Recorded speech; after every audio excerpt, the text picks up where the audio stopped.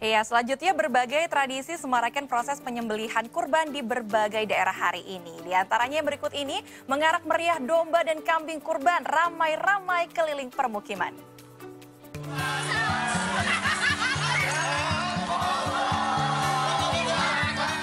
Menggiring ternak kurbannya masing-masing, bersama-sama warga beriringan berkeliling permukiman.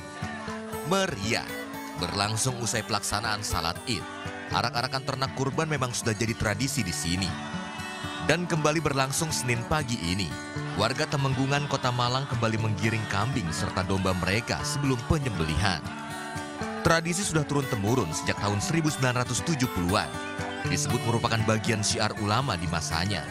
Kebiasaan ini pun jadi bentuk syukur serta sukacita. Ya, untuk tradisi ini sebenarnya sudah berpuluh-puluh tahun kita adakan, alhamdulillah sudah rutin. Setiap tahunnya kita adakan dengan konsep yang berbeda untuk menghibur para warga Temenggungan dan warga uh, di luar Temenggungan agar di hari Idul, Idul Adha ini bisa untuk uh, memecut tempat-tempat lain agar bisa lebih meriah lagi, di, uh, lebih meriah lagi dari tempat ini.